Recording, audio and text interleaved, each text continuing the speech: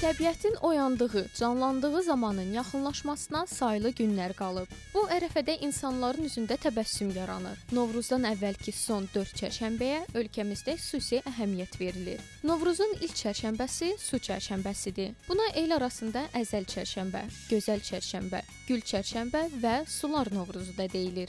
Su çərşənbəsi suya inam ilə bağlıdır. İnanca görə həmin gün sular təzələnir. Gün doğmazdan öncə kənd yerlərində insanlar bulaq üstünə gedər, əl üzünü yuar, bir-birinin üzünə su çiləyər, su üstündən atlanar, evə su gətirərək həmin sudan çay qoyarlar. Deyilənə görə bu çərşənbə günü su üstündən keçənlər azar-bezardan uzaq olarlar. Əzəli çərşənbə günü bulaqların şəfası da artar. Təmizliyin, yeniliyin rəmzi Novruzun gəlişini xəbərçisi olan ilk çərşənbədə evlərdə təmizlik işləri aparılır. Süfrələr milli yeməklər və şirniyyatlar ilə bəzədilir. Şirniyyatlar arasında ən məşhuru paxlavadır. Gəlin Gəncə paxlavasının hazırlanmasına baxaq. Paxlavamız 11 gündədən ibarət olur. İkisi altda, ikisi üzərində olur. 8 yerə ləpəmizi bölüb 2 qat üst-üstə salınır. Ondan sonra yağlanır, ləpələr tökülür. İndi hal-hazırda 2 gündən salırıq. Davamında elədikcə baş izah edəcəm. İlk öncə 2 dənə kündələr üzərində 2 dənəsi üst-üstə salınır və yağlanmır. 2 alt kündəni etdikdən sonra yağlayıb üzərinə ləpəsini böldüyümüz ləpəni tökəcəyik.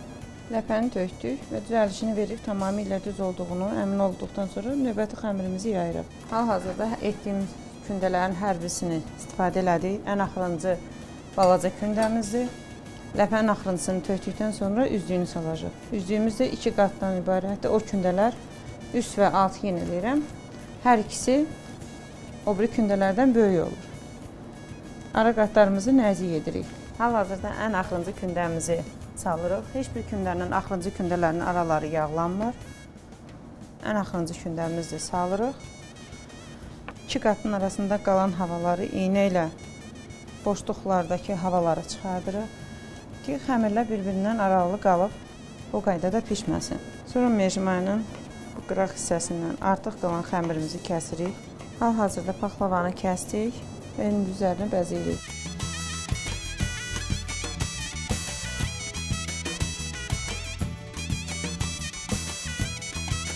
Belə ki, yaşlı insanları, qohumları ziyarət etmək adətdir. Qədim ənənəyə görə Azərbaycanlılar qonağı su ilə qarşılayıb, su ilə yola salarlar. İnanca görə su aydınlıqdır, paklıqdır. İnsanları xətadan baladan qoruyur. Qonağın gəldiyi, getdiyi yollara su səpilir ki, o bir də gəlsin.